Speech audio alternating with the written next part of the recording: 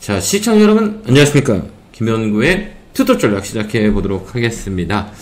자, 오늘은, 어, 양매수가 들어왔죠. 어, 거래소는 외국인 기관, 양매수가 들어왔다. 이렇게 보시면 될 것 같고요. 외국인들은 한 1,000억, 그 다음에 기관은 4,300원, 코스닥은 1,700원, 그 다음에 기관은 500원. 어, 선물 매수가 좀 강하게 들어왔어요. 5,800원. 어, 현 선물을 강하게 들었다. 이렇게 우리가 볼 수가 있고요. 어, 시장은 그래서 이 반등이 좀 세게 들어왔는데 우리가 시장의 질을 좀 잘 봐야 돼요. 어, 어느 쪽에서 이 치고 올라가는 업종이 있는지를 우리가 파악하는 게 가장 중요한 게 아닌가 이렇게 보여지거든요. 오늘 보면 그 반도체 쪽하고 그 다음에 음, 2차 전지 오늘 기술적 반등이 들어왔죠. 이쪽 강하게 들어오고 로봇 관련주도 오늘 테마도 붙었고 그 다음에 또 하나는 이 정치 테마가 좀 최근에 많이 움직임이 보였어요.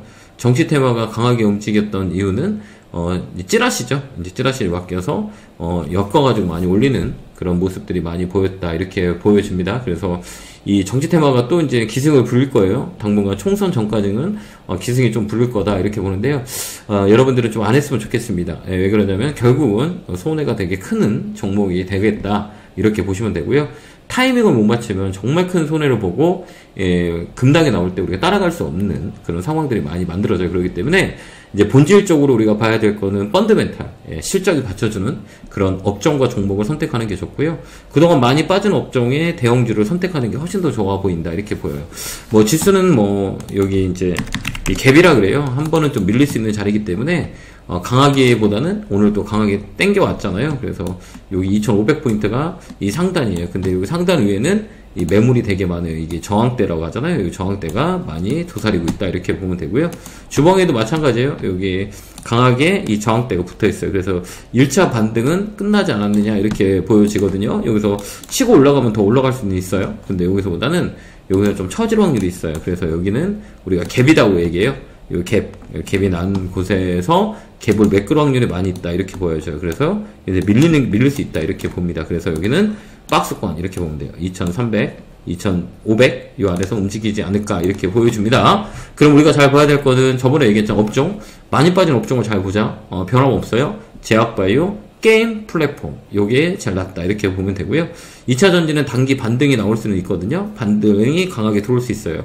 그렇기 때문에 어, 단기 반등이기 때문에 짧은 매매가 맞고요 어, 좀 더 홀딩해서 끌고 갈 거다 그러면 뭐 제약바이오, 셀트리온이나 뭐 삼성바이오로직스, 한미약품 뭐 이런 것들 종곤당은 말씀드렸는데 되게 많이 움직였잖아요. 그다음에 게임주, NC스포트, 어, 크래프튼 뭐 이런 것들 좀 중대형 쪽으로 많이 빠졌던 거 종목들이 많이 있어요. 그쪽을 한번 보는 것도 하나의 관점이고요. 그다음에 화장품 관련주를 좀 봐야 될 것 같아요. 어, 화장품 관련주가 어, 그동안 시장에 많이 소외됐었죠. 그래서 아무레퍼시피라든지 그다음 LG 생활건강이라든지 이런 관련주들이 어, 그동안 실적이 많이 안 좋았거든요. 그게 이제 어느 정도 선반영이 됐기 때문에 이 화장품 관련주도 우리가 좀 체크해 봐야 된다라는 거고요. 이제 기술적 반등이라 그러죠. 우리가 이제 가격에 메리트가 있을 때 물량이 들어오는 어, 이게 이제 기술적 반등 구간이라 그래요. 이 건설업종도 나쁘진 않아요. 보면 HDC 현대산업이나 대우건설, 어, GS건설 이 매기가 좀 붙어요. 그거는 뭐냐?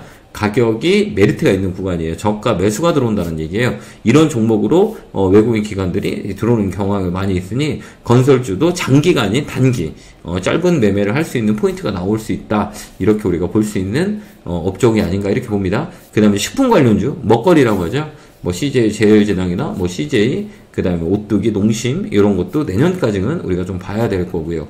이렇게 우리가 압축을 하면 돼요. 그러니까 우리가 시장에 주도주가 아직은 없어요. 그렇기 때문에 주도주가 나오는 것도 체크해야 되고 주도주가 나오기 전에는 우리가 뭘 봐야 되냐? 많이 빠져있는 업종의 종목을 컨택하는 게 훨씬 더 좋아요. 그래서 많이 올라갔던 게 밑으로 내려온 것들은 좀 쉬울 거고요. 그동안 많이 먼저 밀렸던 종목은 반등이 들어올 거예요. 그게 이 공간 매매라 그래요. 그러니까 여러분들이 이 공간을 잘 지켜줄 수 있는 어, 그 포인트를 잡아서 하는 매매가 맞다 이렇게 보여주고요. 어, 올해 내내 얘기했을 거예요. 제가 올해는 외국인들이 많이 살 겁니다라고 얘기했을 거예요. 연말까지 많이 삽니다. 저번에도 10월 달에도 말씀드렸죠.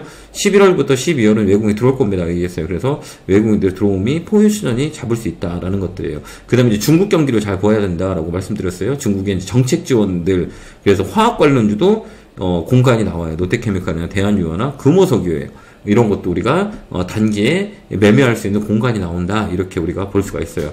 이렇게 우리가 아이디어를 가져야 돼요. 올라 따라 올라가는 거를 매일같이 따라 붙어서 손해 보는 것보다는 미리 선점해서 들어가서 매매하는 게 훨씬 더 우리한테 유리하다 이렇게 보여져요. 그렇기 때문에 좀 엉덩이를 무겁게 하는 전략을 쓰는 게 낫고요.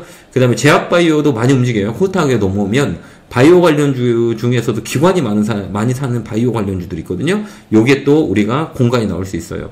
그렇기 때문에 제약 바이오라 해도 코타기에 바이오 종목들을 우리가 볼 때는 꼭 누가 들어와야 되냐? 기관들이 들어와 있어야 된다. 이게 포인트예요. 그렇기 때문에 코스닥 매매할 때는 우리가 기관이 포지션이 얼마만큼 들어와 있냐. 이게 포인트예요. 그러니까 이 코스닥은 당분간은 어, 거래소하고 코스닥을 보자면 코스닥의 바이오 관련주도 되게 많이 올랐거든요. 그건 뭐냐. 실적이 받쳐준 애들, 파이프라인이 있는 애들이 강하게 움직인다. 이걸 여러분들 꼭 머릿속에 기억하고요. 엉덩이 무거운 전략을 쓰시면 될 것 같습니다. 어, 바닥에서 탄력 있게 움직여요. 강하게 움직이는 종목들이 많이 있다. 이걸 꼭 머릿속에 기억하고 이번 주가 오늘 월요일에 많이 떴기 때문에 어, 쉴 수 있으니까요. 따라가기보다는 잠복해 있자. 이 코멘트 드리도록 하겠습니다. 자, 오늘도 고생하셨고요. 어, 2,500, 2,300, 이 박스권에서 움직일 것 같다라고 말씀을 드렸고, 박스권 상단에서는 조심스럽게 매수하고요. 어, 박스권 하단에서 매수 강하게. 예, 뭐, 이렇게 우리가 전략을 짜면 될것 같으니까요. 여러분들 그 포인트를 잡고 시장을 바라보면 될 것 같습니다. 자, 오늘 또 고생 많으셨고요. 오늘 단기에 강하게 움직였기 때문에 내일은 좀 빠질 수 있다. 라는 것들을 머릿속에 기억하고 상단 2500 상단 하단 2300 2포인트로 맞춰놓고요. 2500 상단 왔을 때는 물량을 좀 줄이는 전략 그 다음 밑으로 하단까지 내려왔다? 그럼 또 물량을 사서 단기 매매 이렇게 맞다 이렇게 봅니다. 지금은 단기 매매가 장기 매매보다 훨씬 더 좋다. 그 다음에 많이 빠진 것들 사놓으면 수익 날 수 있는 상황이다. 이거요. 코멘트 드리도록 하겠습니다. 자 고생 많으셨고 내일 뵙겠습니다. 에너지 드릴게요. 개월개월. 팍팍! 감사합니다 본 방송에서 제공하는 정보는 투자 판단에 대한 조언일 뿐입니다. 투자에 대한 판단과 결정은 투자자 본인에게 있음을 알려드립니다.